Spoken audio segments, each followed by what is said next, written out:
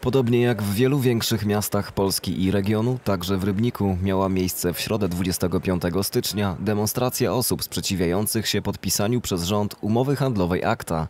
Punktualnie o godzinie 18 do kilkuset osobowej grupy zebranej na rybnickim rynku przez megafon przemówili organizatorzy, głośno krytykując umowę ACTA i zarzucając polskiemu rządowi, że podpisując tą umowę działa na szkodę obywateli.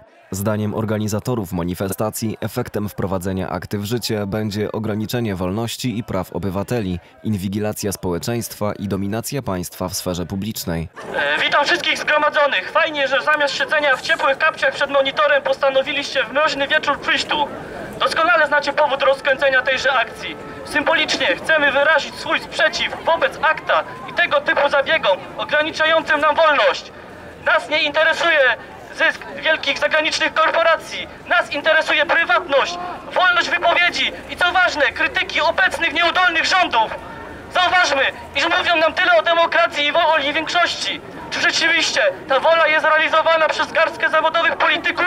Bez przekonań, śmiem wątpić.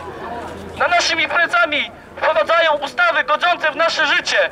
Służby na usługach wielkiego kapitału pod pretekstem piractwa będą inwigilować nasze rozmowy, dane i poprawność polityczną. Czy kogoś tu obecnych pytano o zdanie? Przemowę co chwilę przerywały wyrażające dezaprobatę dla działań polityków okrzyki.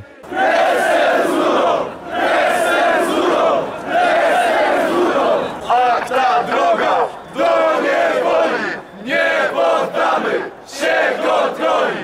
A ta droga do niewoli nie poddamy się kontroli. Po kilkunastu minutach tłum ruszył w stronę Focus Mall, aby przejść przez Plac Wolności i wrócić na rynek ulicami Kraszewskiego i Jana III Sobieskiego.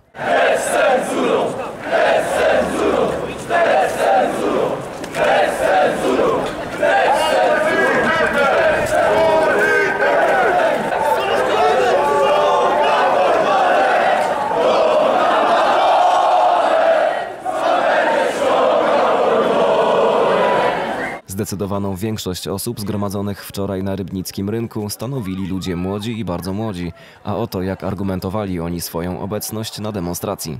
No tak, przede wszystkim byśmy stracili dostęp do darmowej wiedzy. E, Między innymi Wikipedia, tak? Czyli połowa moich zadań domowych. Jeszcze coś? E, Poza tym Tak, poza tym to najbardziej chyba przejmuję się tym, że mogą zostać zamknięte różne serwisy, na których mogę po prostu przechowywać swoje pliki. Nie dlatego, żeby je udostępniać innym ludziom, tylko żeby po prostu były bezpieczne gdzieś w internecie poza komputerem. W razie tego, gdyby ten komputer po prostu wy, wysiadł, nie? No, może się tak zdarzyć, no a jeśli zamkną mi taki serwis i stracę te pliki po prostu, no to będzie problem. ta umowa by mi nawet nie przeszkadzała, jeżeli by była dobrze przemyślana i dobrze wprowadzona. Ale że zostało to po prostu tak przyjęte jak wszystko z zagranicy, że to co jest z zagranicy to jest dobre, no to na tym się kończy właśnie, że to przyjmują. przede wszystkim chodzi tu o wolność w internecie, prawda? Jeśli oni ten dostęp do wolności nam ograniczają w internecie, to co może się stać w życiu na co dzień? No to jest takie kontrolowanie nas. Że on nas próbuje kontrolować w tym momencie. I przede wszystkim to o to w- tym chodzi.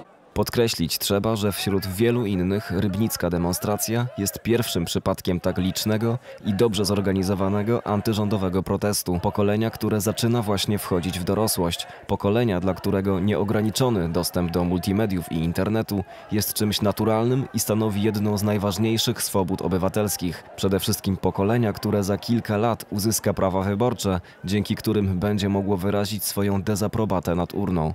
Czy młodzi rybniczanie zapamiętają podpisanie akta rządowi Donalda Tuska? Tutaj jest jedna z trzech największych grup e, wybo- przyszłych wyborców. Druga grupa to są kierowcy, a trzecia to są ki- kibice, którzy też już, e, jak, za, jak zresztą rząd zauważył, były e, problemy z tym. No i tutaj jest jedna, pierwsza, pierwsza chyba najliczniejsza grupa w, na, w całej Polsce wybo- przyszłych wyborców, także myślę, że da to jakiś minimalny chociaż skutek.